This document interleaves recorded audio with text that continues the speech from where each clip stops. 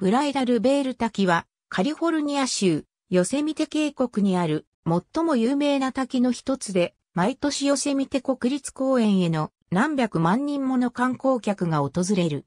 滝は高さ188メートルで一年中水が流れている。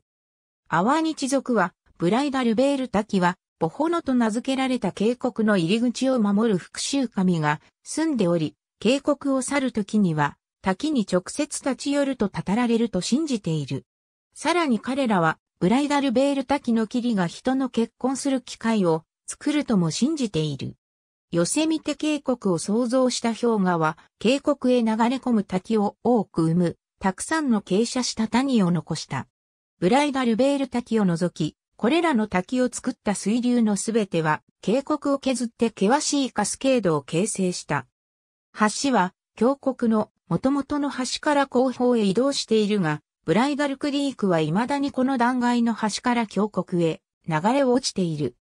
一方、この滝と同じように見えるヨセミッテ滝は、本来のコースは、現在の位置から西へ渓谷を下ったヨセミテクリークにあった。